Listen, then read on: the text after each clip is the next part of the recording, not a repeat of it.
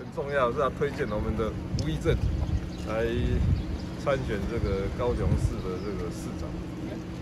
我觉得这样的民主政治就是挑一个比较好的，就这样。那我认为在三个候选人当中，他应该是最好的。我个人在各方面的观察。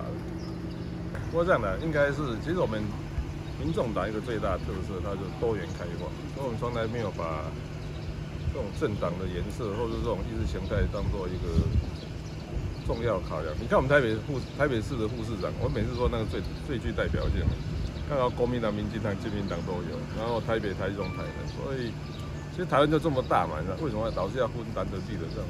没有必要的。我觉得只要是人才，我们就推荐；人才，我们就使用。来。